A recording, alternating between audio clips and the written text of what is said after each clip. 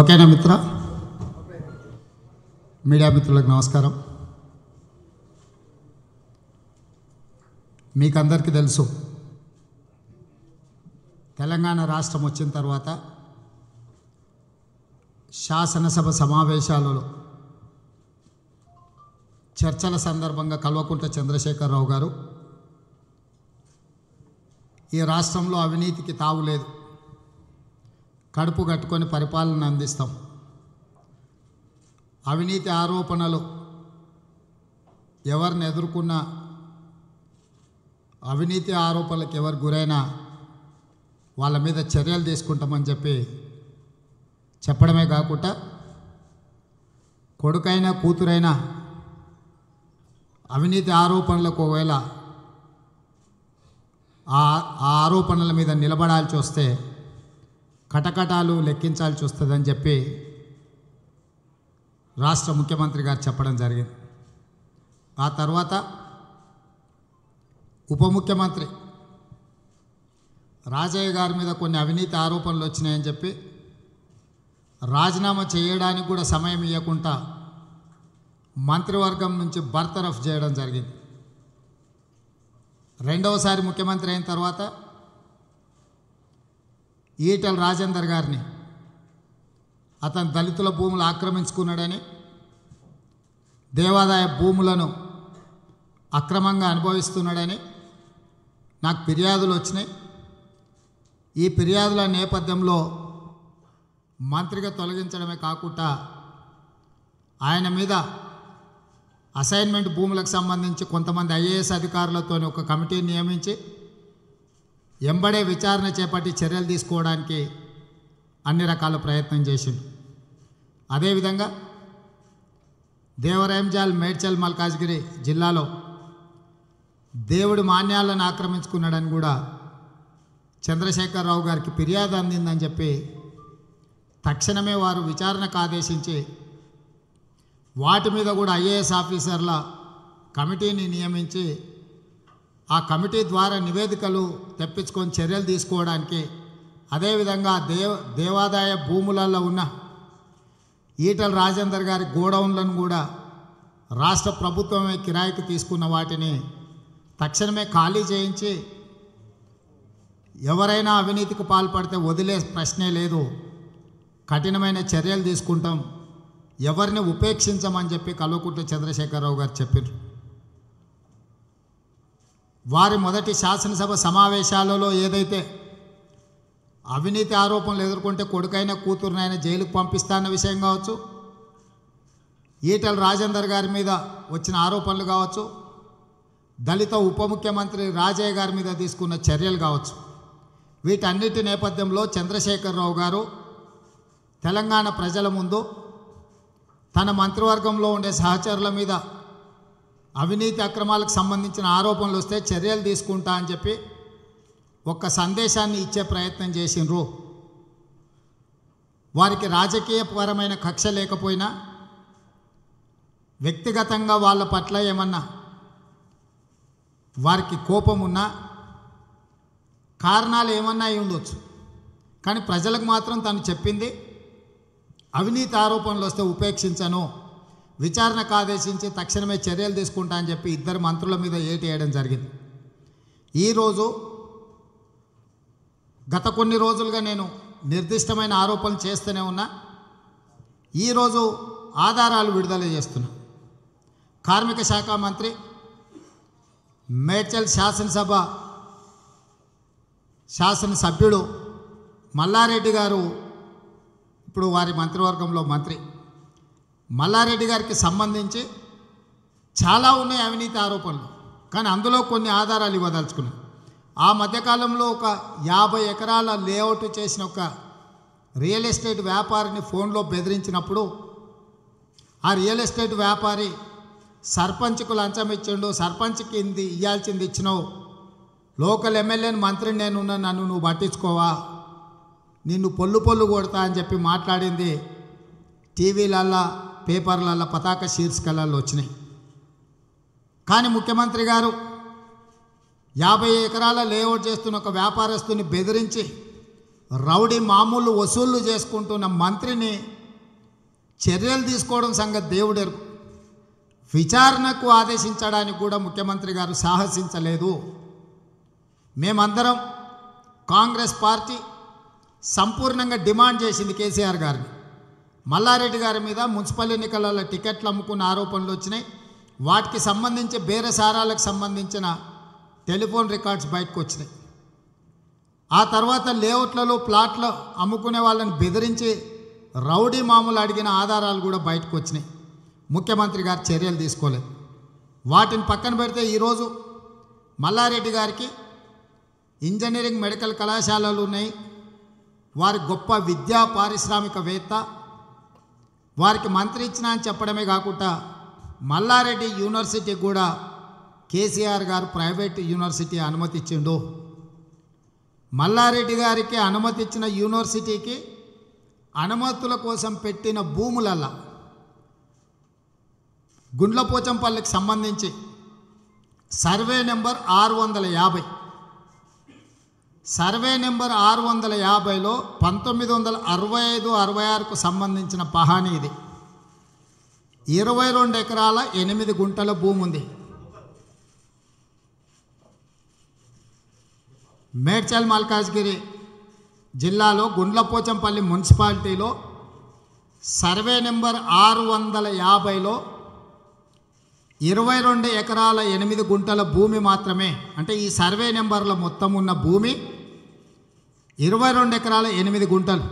ఇది పంతొమ్మిది వందల అరవై ఐదు అరవై ఆరుకు సంబంధించిన పహాని. ఈ రెండవ పహాని రెండు వేలు రెండు వేల ఒకటికి సంబంధించిన పహాని. ఇందులో కూడా ఈ ఆరు వందల యాభై సర్వే నెంబర్లు పోడీ అంటే విభజన జరిగి రకరకాల పేర్ల మీద ఆరు వందల యాభై ఆ ఈ ఊ రు ఇట్లా విభజనలు జరిగి ఇందులో కూడా ఇరవై రెండు ఎకరాల ఎనిమిది గుంటలు మాత్రమే ఉన్నట్టుగా రెండు వేలు రెండు వేల ఒకటికి సంబంధించిన పహానీలివి. అంటే గుండ్ల పోచంపల్లి గ్రామంలో ఆరు వందల యాభై సర్వే నెంబర్లో ఉన్న మొత్తం భూమి ఇరవై రెండు ఎకరాల ఎనిమిది గుంటలు అని చెప్పి ప్రభుత్వం విడుదల చేసిన పహానీలు పంతొమ్మిది వందల అరవై ఐదు అరవై ఆరుది. రెండు వేలు రెండు వేల ఒకటికి సంబంధించిన కాగితాలు నేను ఈరోజు పాత్రికేయ మిత్రుల ముందు నేను పెడుతున్నా.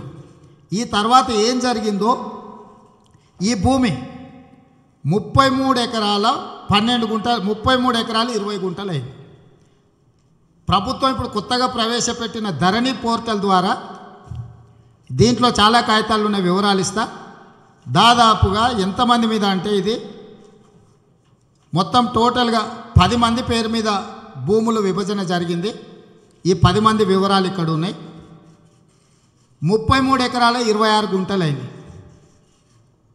పంతొమ్మిది వందల అరవై ఐదు అరవై ఆరు నుంచి రెండు వేలు రెండు వేల ఒకటి సంవత్సరం వరకు గుండ్లపోచంపల్లి ఆరు వందల యాభై సర్వే నెంబర్లో ఇరవై రెండు ఎకరాల ఎనిమిది గుంటలు ఉన్న భూమి రెండు వేల ఇరవై ఒకటి సంవత్సరానికి కొత్తగా కేసీఆర్ గారు ప్రవేశపెట్టిన ధరణి పోర్టల్లోకి వచ్చేవరకల్లా ధరణిలో ఇప్పటికాడికి నాకు అందుబాటులో ఉన్న సమాచారం ఇది ఇంకా కూడా పెరిగిందేమో నాకు తెలియదు ముప్పై మూడు ఎకరాలు ఇరవై ఆరు గుంటలైంది. ఇరవై రెండు ఎకరాల ఎనిమిది గుంటలు ఉన్న భూమి ముప్పై మూడు ఎకరాల ఇరవై ఆరు గుంటలు అయిందంటే ఇది ఏమైనా కేసీఆర్ ముక్క రోజు రోజుకు కొంత పెరగడానికి? భూమి అనేది ఒక సర్వే నెంబర్లో ఎన్ని వందల సంవత్సరాలైనా ఒకే భూమి ఉండాలి కదా. దీంట్లో పదహారు ఎకరాలు శ్రీనివాస్ రెడ్డి అనే పేరు మీదకి బదిలీ అయింది. ఈ శ్రీనివాస్ రెడ్డి ఎవరే అంటే గుండ్లపోచంపల్లి మున్సిపల్ చైర్పర్సన్ భర్త మల్లారెడ్డి గారి బావమరిది. గతంలో గుండ్లపోచంపల్లికి ఉప సర్పంచ్ ఉండే. ఈరోజు శ్రీనివాస్ రెడ్డి గారి సతీమణి Gundlapochampally municipal chairperson TRS party. ఆ మధ్యలో దేవ దేవ దేవాదాయ భూములకు సంబంధించి నేను వివరాలు బయట పెట్టినప్పుడు అది నా బామార్ది నాది కాదు నాకేం సంబంధం అన్నాడు మల్లారెడ్డి గారు. ఆ మల్లారెడ్డి గారు బావమరిది పదహారు ఎకరాల భూమికి ఈ ఆరు వందల యాభై సర్వే నెంబర్లో యజమాని అయ్యిండు. అతను ఏ విధంగా యజమాని అయ్యిండో అతనికి ఏ విధంగా పాస్ పుస్తకాలు వచ్చినాయో అతను ఏ రకంగా దీనికి యజమాని అయ్యిండో ఎక్కడ లేవు. హైదరాబాదులో హైదరాబాద్ చుట్టుపక్కల భూములు కొనుగోలు చేస్తే సేల్ డీల్ కాకుండా వేరే రకంగా చేయడానికి అవకాశం లేదు. ఈ పదహారు ఎకరాల భూమి శ్రీనివాసరెడ్డికి వచ్చిన తర్వాత శ్రీనివాసరెడ్డి నుంచి మల్లారెడ్డి ఎడ్యుకేషనల్ ట్రస్ట్కు గిఫ్ట్ డీడ్ అయింది పదహారు ఎకరాలు. మల్లారెడ్డి గారి బావమరిది అయిన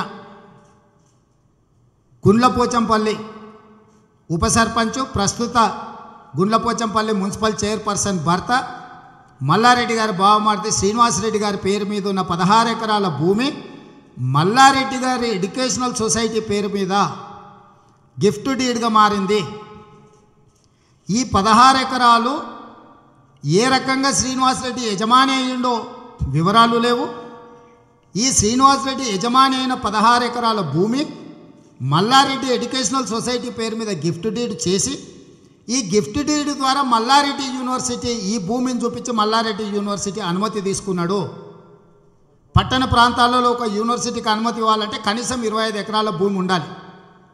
అతను ఆ యూనివర్సిటీ అనుమతి కోసం ఎన్ని ఎకరాల భూమి పెట్టిండో నాకు తెలియదు కానీ ఈ మల్లారెడ్డి గారికి శ్రీనివాసరెడ్డి గారు గుండ్లపోచంపల్లిలో గిఫ్ట్ డీడ్ ద్వారా పదహారు ఎకరాల భూమిని గిఫ్ట్ ఇస్తే ఈ గిఫ్ట్ డీడ్ తీసుకెళ్ళి మల్లారెడ్డి ఎడ్యుకేషనల్ సొసైటీ యూనివర్సిటీ జాగ్రత్తగా చూపించి యూనివర్సిటీ అనుమతి తీసుకురు. ఇంతవరకు స్టోరీ ఒక రకంగా ఉంది. ఇదే భూమికి రెండు వేల నాలుగు కంటే ముందే గ్రామ పంచాయతీ చేసి లేఅవుట్లు చేసి ప్లాట్లు అమ్మేసిండ్రు. ఆరు వందల యాభై సర్వే నెంబర్లో ఉన్న భూమిని అప్పటికే కొంతమంది వ్యక్తులు గ్రామ పంచాయతీ లేఅవుట్ తీసుకొని లేఅవుట్ చేసి ప్లాట్లు అమ్మేసిండ్రు. ఈ ప్లాట్లకు సంబంధించిన సేల్ డీడ్ కాపీ. రెండు వేల నాలుగులో సేల్ డీడు గ్రామ పంచాయతీ అయిన తర్వాత మళ్ళా రెండు వేల పన్నెండులో జిహెచ్ఎంసి హెచ్ఎండిఏ లేఅవుట్ పర్మిషన్ తీసుకొని సంజీవరావు గారని మళ్ళీ కొత్త లేఅవుట్ చేసి మళ్ళీ ప్లాట్లు అమ్మిండు. మొదట్లో రెండు వేల నాలుగు సంవత్సరంలో లేఅవుట్లు చేసి గ్రామ పంచాయతీ కింద ప్లాట్లు అమ్మిన ఇదే భూమి ఆరు వందల యాభై సర్వే నెంబర్లో మళ్ళీ రెండోసారి హెచ్ఎండిఏ లేఅవుట్ తీసుకొచ్చి రెండు వేల పన్నెండు హెచ్ఎండిఏ లేఅవుట్ తీసుకొచ్చి మళ్ళీ లేఅవుట్లు చేసి ప్లాట్లు అమ్మారు రెండు వేల నాలుగులో లేఅవుట్ చేసి అమ్మిన భూమి గ్రామ పంచాయతీ లేఅవుట్ చేసి అమ్మిన భూమి రెండు వేల పదిహేనులో మళ్ళీ లేఅవుట్ చేసి హెచ్ఎండిఏ లేఅవుట్ ద్వారా చేసిన మల్ల భూమి రెండుసార్లు ఈ తప్పుడు లేఅవుట్ల ద్వారానే ఈ భూమిని అమ్మిండ్రు. ఆల్రెడీ ఈ లేఅవుట్లలో ప్లాట్లు ఉన్నాయి ప్లాట్లలో యజమానులు వాటికి సంబంధించిన డాక్యుమెంట్లు ఇవి.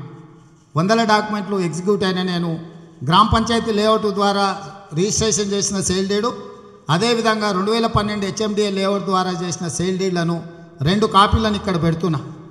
ఇవాళ నేనేమడుగుతున్నా అంటే కేసీఆర్ గారిని గుండ్ల పోచంపల్లి గ్రామంలో ఆరు వందల యాభై సర్వే నెంబర్లో ఉన్న భూమి ఇరవై రెండు ఎకరాల ఎనిమిది గుంటలు. ఇవాళ మీ ధరణి లేఅవుట్ ప్రకారం మీ ధరణి వివరాల ప్రకారము ముప్పై మూడు ఎకరాల ఇరవై ఆరు గుంటలే ఈ ముప్పై మూడు ఎకరాలు ఇరవై ఆరు గుంటలలో పదహారు ఎకరాలు మల్లారెడ్డి బావమర్ది శ్రీనివాసరెడ్డి పేరు మీద ఉంది. శ్రీనివాసరెడ్డి పేరు మీద ఉన్న పదహారు ఎకరాలు మల్లారెడ్డి ఎడ్యుకేషనల్ సొసైటీ పేరు మీద గిఫ్ట్ డీడ్ అయి దాన్ని పెట్టి యూనివర్సిటీ పర్మిషన్ తీసుకున్నాడు. ఆల్రెడీ ఆరు వందల యాభై సర్వే నెంబర్లో లేఅవుట్లు చేసి రెండు సార్లు ప్లాట్లు అమ్మి అమాయక ప్రజలు ప్లాట్లు కొనుక్కున్న తర్వాత ఇరవై రెండు ఎకరాలు ముప్పై మూడు ఎకరాలు ఇరవై ఆరు గుంటలు ఎట్లయింది? ఇరవై ముప్పై మూడు ఎకరాలు ఇరవై ఆరు గుంటలలో పదహారు ఎకరాలు శ్రీనివాసరెడ్డికి ఎట్లొచ్చింది? శ్రీనివాసరెడ్డి నుంచి మల్లారెడ్డి ఎడ్యుకేషనల్ సొసైటీకి ఎట్లా గిఫ్ట్ డీడ్ అయింది? దీన్ని తీసుకెళ్ళి ఉస్మానియా దీన్ని తీసుకెళ్ళి ఆయన యూనివర్సిటీ అనుమతి కోసం ఏ విధంగా భూమి చూపించి అనుమతి తీసుకొచ్చిండు ఈ మల్లారెడ్డి యూనివర్సిటీ అనుమతులలో ఇచ్చిన మతలబుకు సంబంధించిన పూర్తి వివరాలు నేను ఈరోజు కేసీఆర్ గారికి పాత్రికేయ మిత్రుల ద్వారా విజ్ఞప్తి చేస్తున్నా. నీ మంత్రివర్గంలో నీతి నిజాయితీ కలిగిన వాళ్ళు ప్రజల ముందు సత్య హరిశ్చంద్రులలాగా నిరూపించుకున్న వాళ్ళే నీ మంత్రివర్గంలో సహచరులుగా ఉంటారని మీరు చెప్పిండ్రు కదా. మల్లారెడ్డి యూనివర్సిటీలో తనఖా పెట్టిన ఆరు వందల యాభై సర్వే నెంబర్లో ఉన్న భూమి ఇరవై రెండు ఎకరాల ఎనిమిది గుంటల నుంచి ముప్పై మూడు ఎకరాల ఇరవై ఆరు గుంటలకు ఎట్లా పెరిగింది? మల్లారెడ్డి బావమర్తి శ్రీనివాసరెడ్డికి పదహారు ఎకరాలు ఎట్లా వచ్చింది ఆ పదహారు ఎకరాలు మల్లారెడ్డికి ఎట్లా గిఫ్ట్ డీడ్ అయింది అది ఎట్లా యూనివర్సిటీకి పర్మిషన్ ఇచ్చిందో చెప్పాలి number one.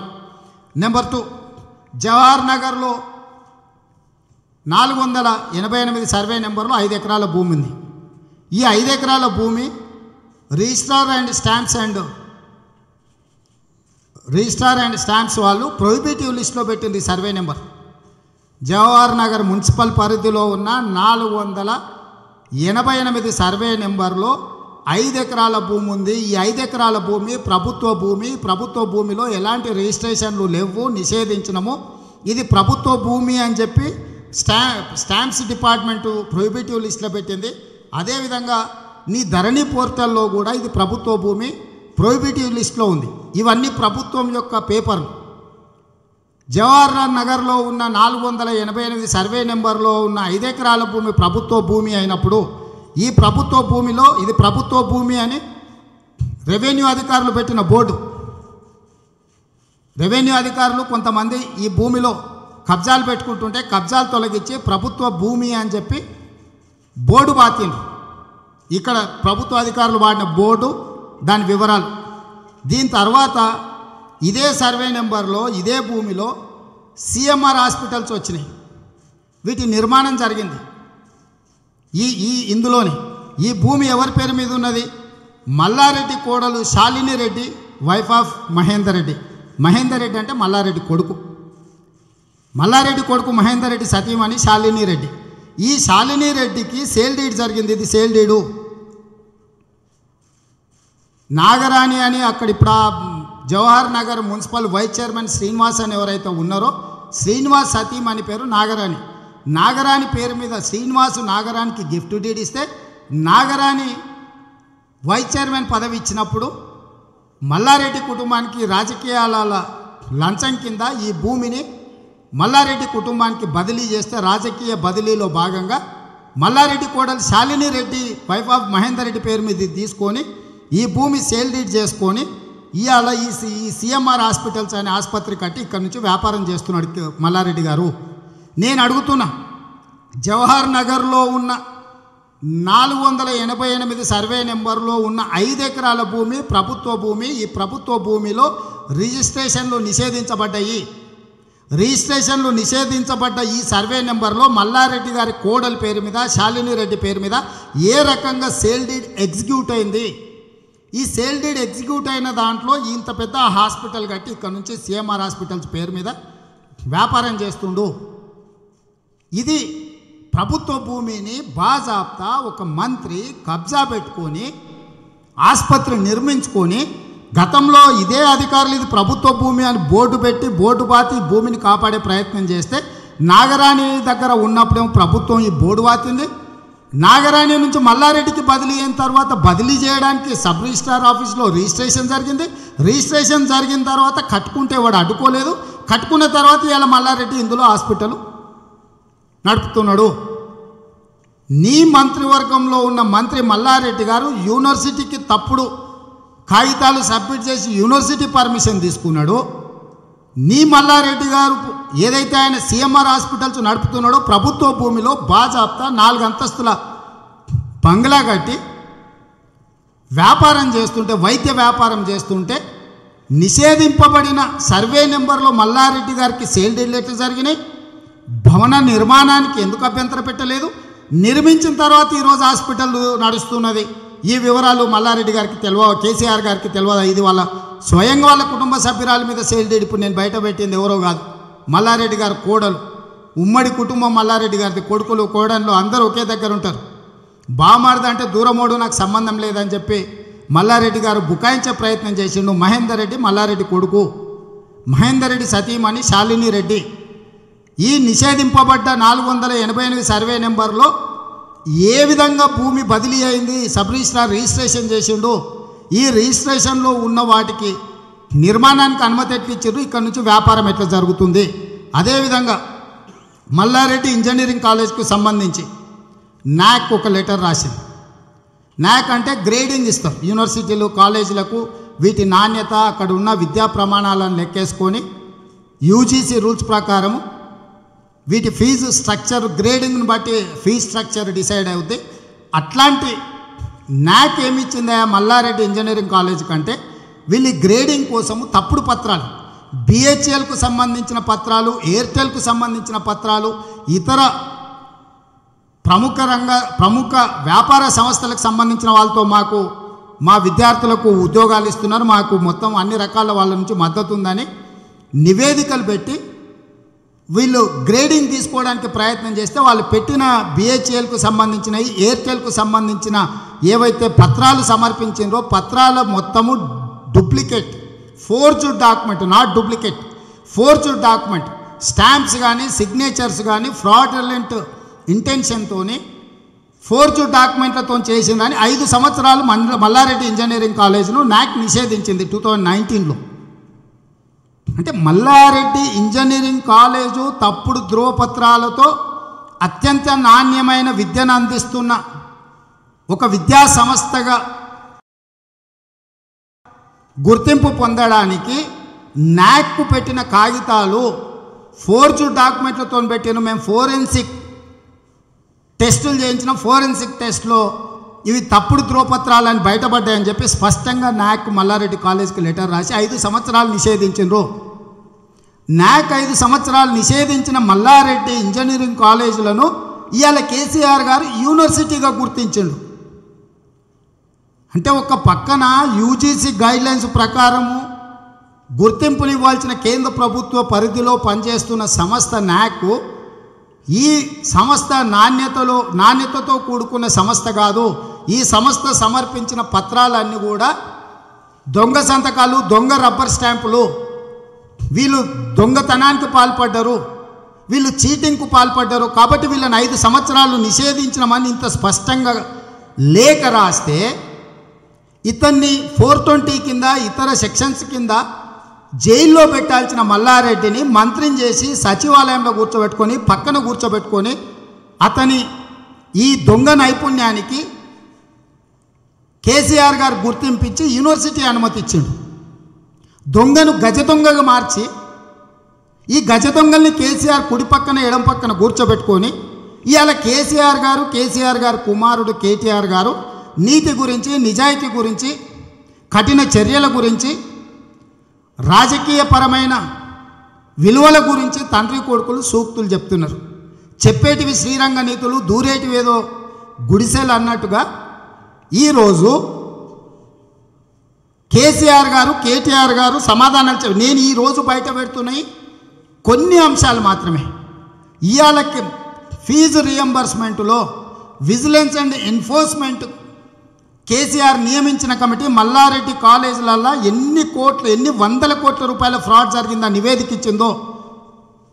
Malla Reddy engineering college Malla Reddy medical కాలేజ్లో ఫీజు రియంబర్స్మెంటు తప్పుడు విద్యార్థుల వివరాలు పొందుపరిచి ఎన్ని కోట్ల రూపాయలు అన్యాయంగా ప్రభుత్వ సొమ్మును కాజేసిందో ఎన్ఫోర్స్మెంట్ విజిలెన్స్ అండ్ ఎన్ఫోర్స్మెంట్ ఇచ్చిన నివేదికను రాష్ట్ర ప్రభుత్వం బయటపెట్టాలి. ఇవాళ అతని విద్యా సంస్థలను నిషేధించాల్సిన సందర్భంలో మల్లారెడ్డి ఇంజనీరింగ్ కాలేజ్ కావచ్చు మల్లారెడ్డి మెడికల్ కాలేజ్ కావచ్చు మల్లారెడ్డి స్కూల్స్ కావచ్చు.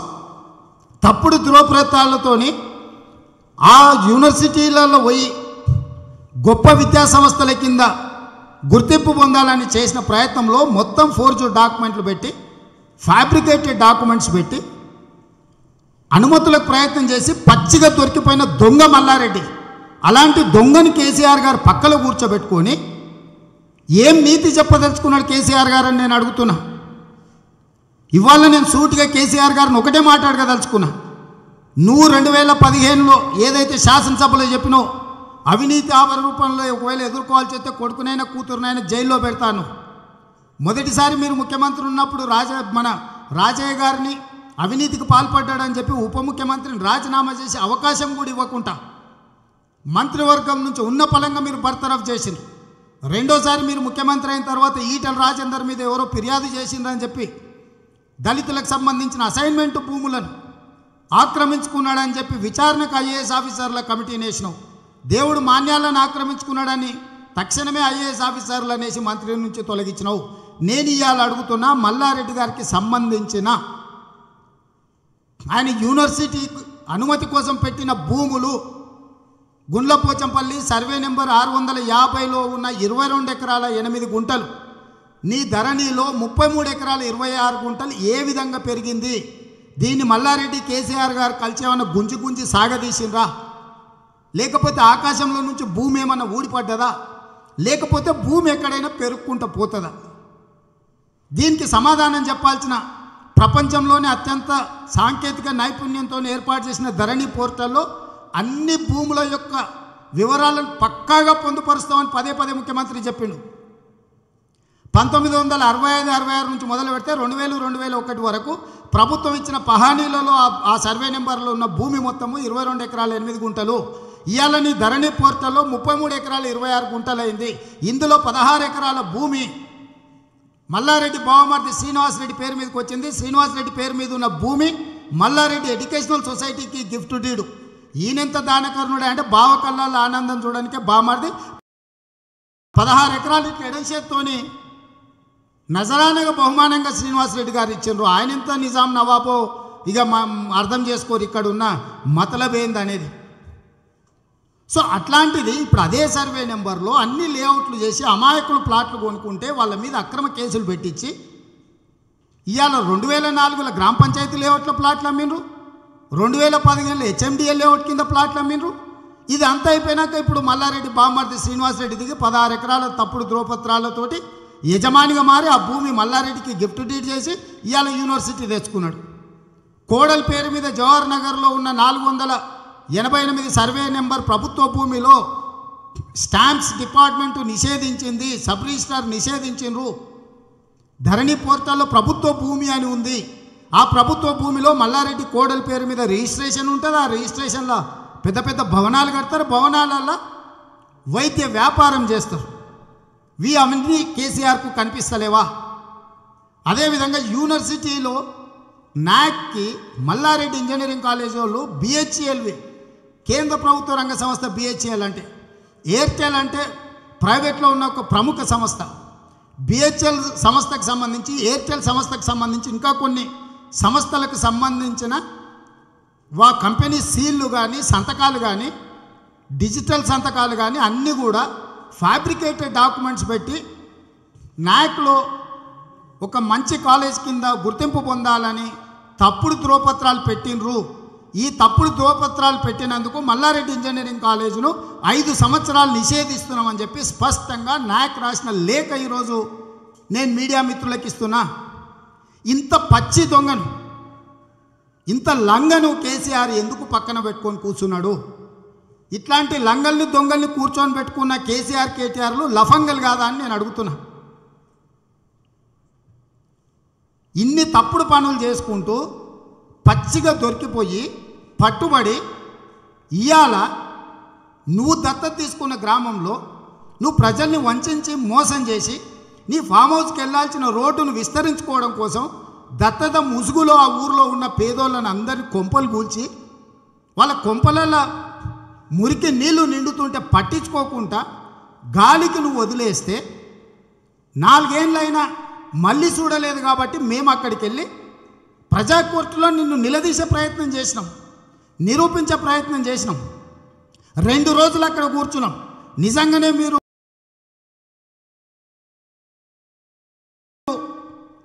మూర్చింతలపల్లిని కానీ కేశవరం కానీ లక్ష్మాపూర్ కానీ మీరు అభివృద్ధి చేసి ఉంటే మీరు రండి మీరు చూపించండి. మీరు రాలేనప్పుడు కనీసం అధికారులనైనా పంపించండి. నేను స్థానిక పార్లమెంట్ సభ్యుని నేను ఇక్కడ ఉన్నాను. మీరు అధికారులను పంపించండి అని చెప్పిన. సంబంధిత కలెక్టర్కు నేను ఫోన్ చేసి మాట్లాడిన మీరు రాండి చూడండి అని. అధికారులు రాలేదు ప్రజాప్రతినిధులు రాలేదు. కానీ ముందు రోజే టీఆర్ఎస్ వాళ్ళు మమ్మల్ని అడ్డుకుంటామని ప్రెస్ మీట్లు పెట్టి మమ్మల్ని తిట్టి మేము వెళ్తుంటే దారిలో మమ్మల్ని అడ్డుకొని మమ్మల్ని రెచ్చగొట్టే ప్రయత్నం చేస్తే కూడా మేము సంవయనం పాటించినాము. మమ్మల్ని అడ్డుకోవడానికి ప్రయత్నం చేసిన మరి రాజశేఖర రెడ్డి కావచ్చు మల్లారెడ్డి మనుషులు కావచ్చు ముందు రోజు మాట్లాడిన టీఆర్ఎస్ నాయకులు కావచ్చు. మీరు తెలంగాణ సమాజానికి ఏం చెప్పదలుచుకున్నారు? ప్రజాస్వామ్యంలో ప్రతిపక్షాలుగా ప్రజల తరఫున ప్రభుత్వం ఇచ్చిన హామీలు అమలు జరగకపోతే ప్రజల తరఫున ప్రశ్నించాల్సిన బాధ్యత ప్రధాన ప్రతిపక్షమైన కాంగ్రెస్ పార్టీ మీద లేదా? కాంగ్రెస్ పార్టీ అధ్యక్షుడిగా ఆ ప్రాంత పార్లమెంట్ సభ్యుడిగా ఆ మూడు గ్రామాలను కేసీఆర్ గారు దత్తత తీసుకొని ఆయన ఫామ్ హౌస్కు కావలసిన రోడ్డు విస్తరణ పనులు చేపట్టడం వల్ల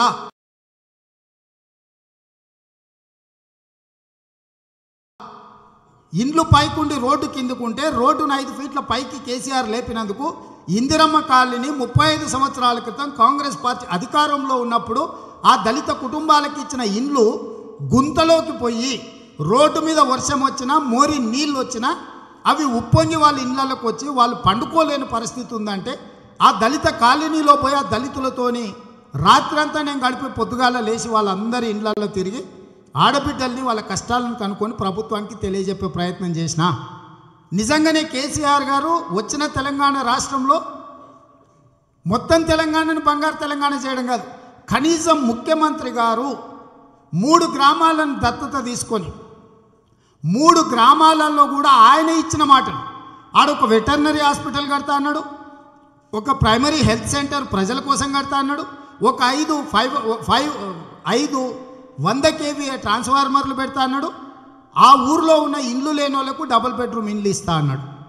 ఒక్క పని కూడా చేయలే. పశువుల దవాఖాన గట్టలే ప్రజలకు సంబంధించిన దవాఖాన గట్టలే ఇందిరమ్మ ఇండ్లు గట్టలే ఆ ఊర్లో ఉన్న పేదోళ్ళకి పెన్షన్ ఇయ్యలే కళ్యాణ లక్ష్మి చెక్కులు కూడా రాలేదు. అక్కడ ఊర్లో ఇరవై రెండు ముప్పై సర్వే నెంబర్ల యాభై ఎకరాల భూమి యాభై ఏళ్ళ కింద ఇందిరమ్మ ఉన్నప్పుడు పట్టాలిస్తే ఆ యాభై ఎకరాల భూములకు కొత్త పాస్ పుస్తకాలు ఇస్తామని ఆ పట్టాలను తీసుకొని వెళ్ళి అవి కూడా ఇయ్యక. ఆ రైతులకు రైతు బంధు రాలేదు చచ్చిపోతే రైతు బీమా రాలేదు అని వాళ్ళ ప్రజలు సమస్యను లేవనెత్తితే ఈ ప్రభుత్వాన్ని ప్రశ్నించే ప్రయత్నం చేసినాము. ఈ ప్రశ్నించే ప్రయత్నం చేస్తే ఉన్మాదుల్లాక పిచ్చి కుక్కల్లాక కేసీఆర్ను మెప్పించాలనుకుంటున్నారో లేకపోతే కేసీఆర్ దగ్గర మార్కులు కొట్టాలనుకుంటుండ్రో నాకు తెలియదు లేకపోతే కేసీఆర్ ఒత్తిడికి లోనయ్యి వాళ్ళందరూ ఏం మాట్లాడుతున్నారో ఆ మాటల్ని మా నాయకులు నిన్న మొత్తం మల్లురావు గారు అద్దంకి దయాకర్ మా బెల్లయ్య నాయకు అందరు చెప్పారు. మొరిగేటోడు వీడైనా మొరిగిచ్చింది కేసీఆర్ కేటీఆర్ అని. ఇవాళ ఆయన ఏదో కేటీఆర్ గారు ఏదో మా మల్లన్న మాట్లాడిండు అని అంటుండు. మంచిదే. మల్లన్న మాట్లాడితే అద్దంకి దయాకర్ కూడా మాట్లాడిండు కదా. అద్దంకి దయాకర్ కూడా ఏం చెప్పాలనో చెప్పిండు కదా. సో నేను ఒక్కటే అడుగుతున్న కేసీఆర్ గారు మీరు దొరికినప్పుడు మీరు దోషిగా నిలబడ్డప్పుడు తెలంగాణ సమాజం అంతా మిమ్మల్ని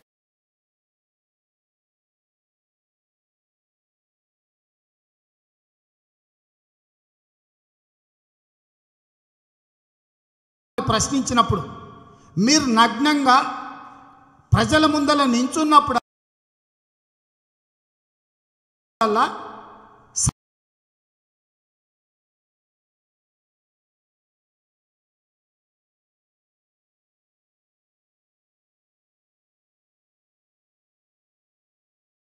సమస్యను పక్కదారి పట్టించడానికి విపరీతమైన వ్యాఖ్యలు చేయించి దాన్ని ప్రచారాన్ని కల్పించి ఆ పంచాయతీ ఏదో చిల్లర పంచాయతీ కుళాయి దగ్గర పంచాయతీ లాగానో లేకపోతే కళ్ళు కాంపౌండ్లో తాగి కొట్లాడుకున్న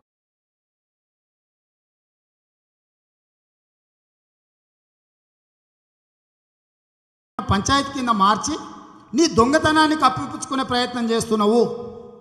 మేము దారి తప్పదలుచు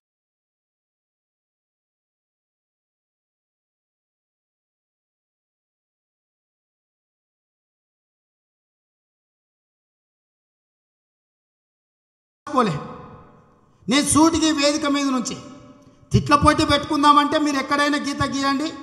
నీ ఫామ్ హౌస్కు రావాలన్నా ప్రగతి భవన్కు రావాలన్నా నీ ఇంటికి రావాలన్నా నీ ఇంటి మీదకి రావాలన్నా చెప్పు ఆ పోటీ పెట్టుకున్న రోజు ఆ పోటీ పెట్టుకుందాం.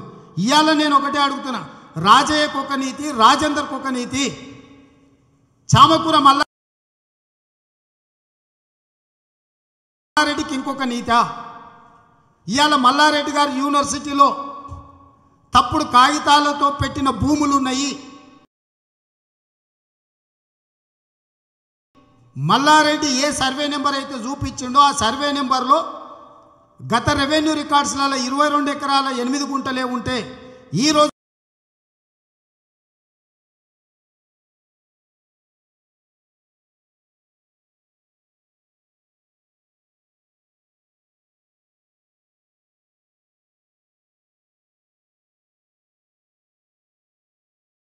కేసీఆర్ గారు ప్రవేశపెట్టిన ధరణి పోర్టల్లో ముప్పై మూడు ఎకరాల ఇరవై ఆరు గుంటలు వచ్చింది. వివిధ యజమానుల మీద పేర్లు ఉన్నాయి.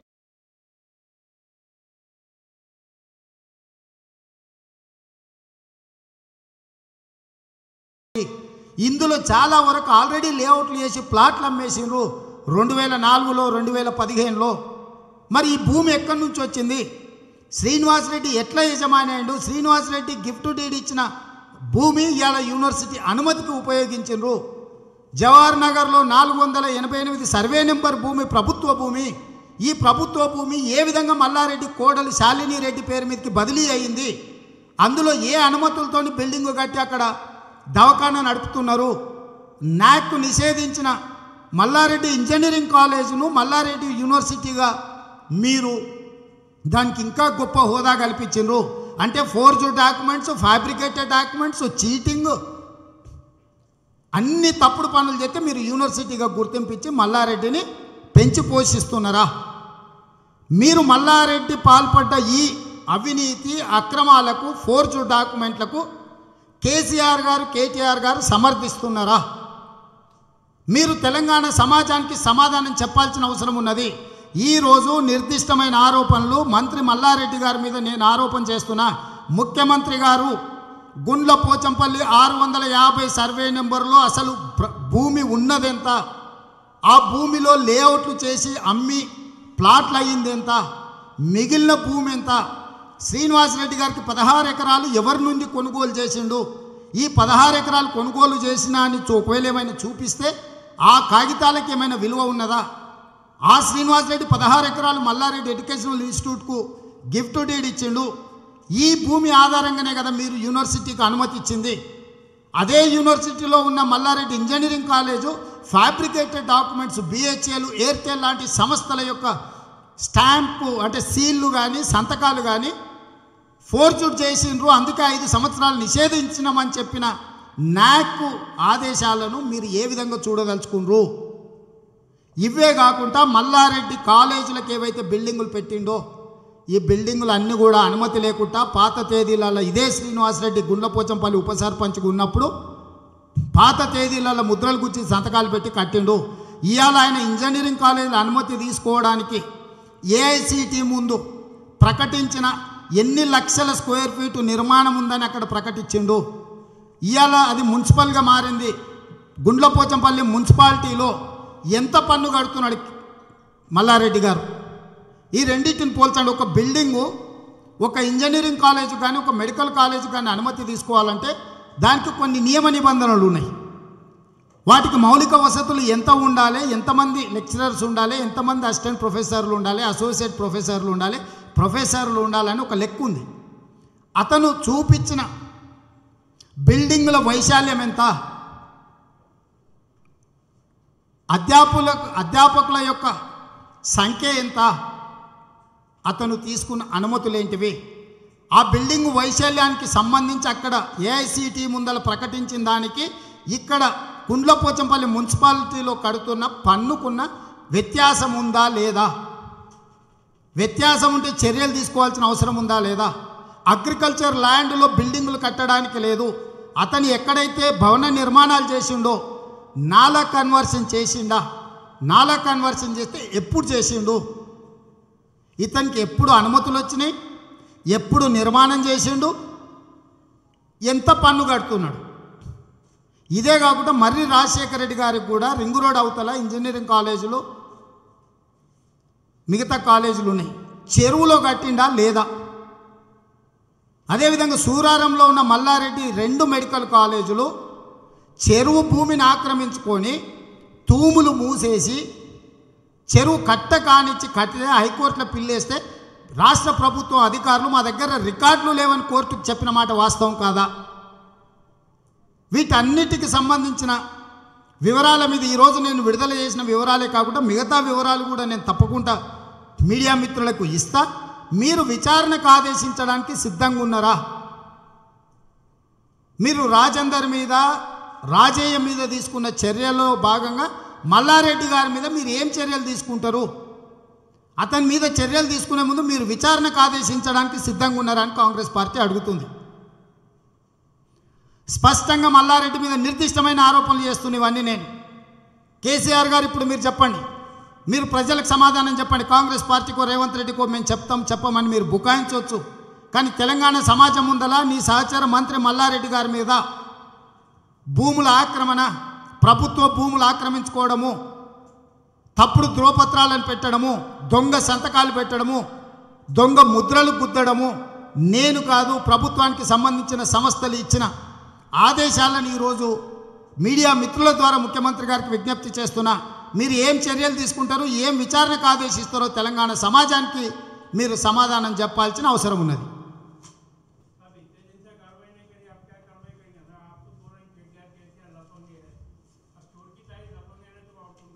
जब तक नहीं पकड़ा, चोर नहीं पकड़ा जाएगा, तब तक ये ऐसे चलेगा। इसीलिए आप चोर को आम जनता के सामने लेकर आए।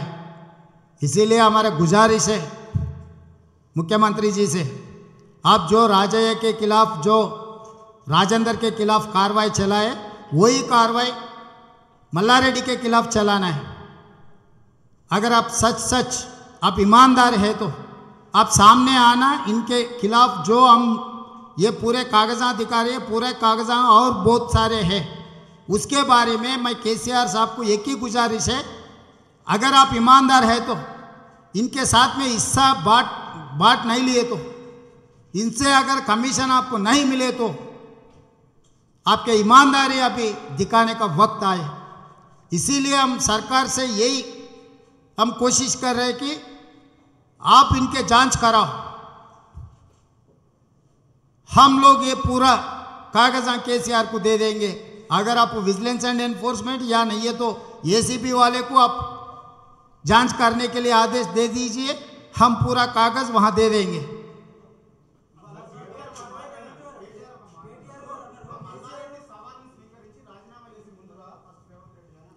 ఇప్పుడు నేను ఒక మాట చెప్తా నేను గెలిచిందే మల్లారెడ్డి మీద ఓడిపోయినోడు ఏం మాట్లాడతాడు నేను మన రెండు వేల పంతొమ్మిది పార్లమెంట్ ఎన్నికలలో గెలిచిందే మల్లారెడ్డి మీద కదా మల్లారెడ్డి అల్లుని మీద కదా.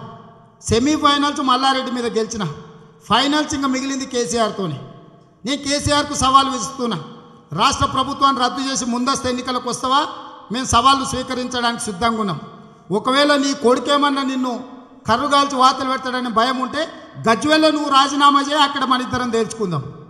ఈ సన్నాసులను ఈ సోయిలేనోళ్ళను నీ మోచేతి నీళ్ళు తాగేటోళ్ళను నీ చెప్పుల కాడ కాపలా ఉండే కుక్కల్ని ఉసిగొల్పకు. చేతనైతే రా చూసుకుందాం.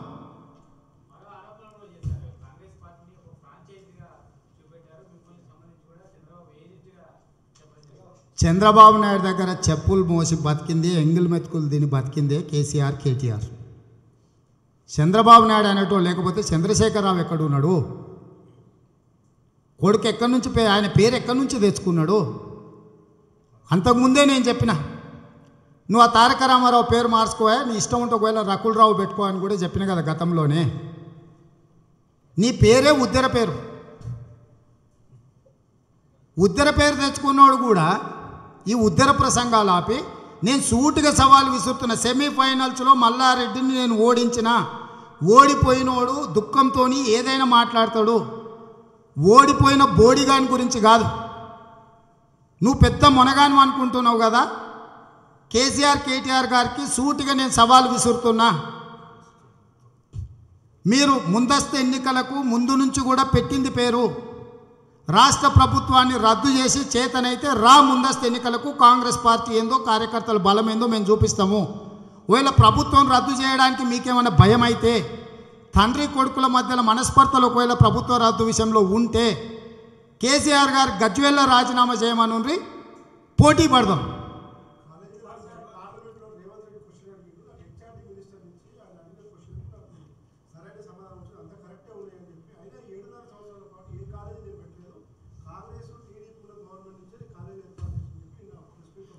ఇప్పుడు నేను అడిగేది ఈ పేపర్లో నేను చూపిస్తున్నా.